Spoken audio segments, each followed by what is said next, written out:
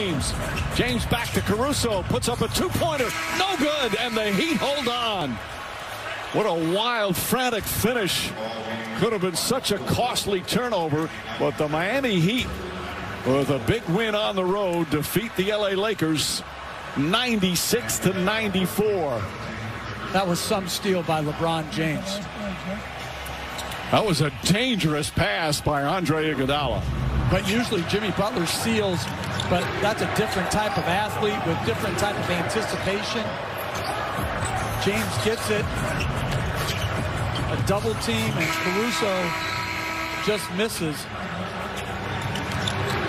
We talk about the, the upper body strength of LeBron to deflect it. And he makes the right play here. Unfortunately, Caruso not able to knock it down. So the Lakers fall short. Lakers now fall to 22 and 9. They're now 1 and 3 in their last four games, and they've got a month ahead without Anthony Davis. Meanwhile, Jimmy Butler and the Heat starting to turn things around. They improved to 13 and 17. Just their sixth road win of the season, but they improve on this West Coast win. They're now 3 and 3 with one more game to go before they head back to Miami. So Butler finishes with 24 points, eight rebounds, five assists, a bunch of clutch free throws, and he's with Rachel.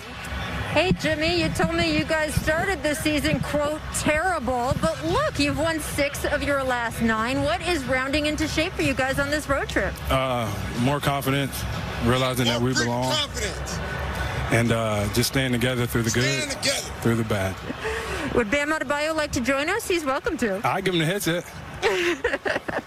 I think he's turning you down on that one. You know, before the game, Jimmy, Coach Spoelstra said that beating the defending champions would be a confidence boost for you guys.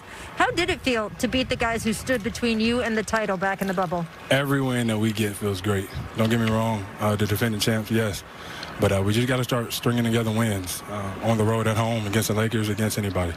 Well, great play from so many members of the team tonight, but Kendrick Nunn in particular. When you guys had so many guys in and out of the lineup, he really is one of the players who stepped up. What do you like about what he's contributing for you this season? The fact that he always stays ready.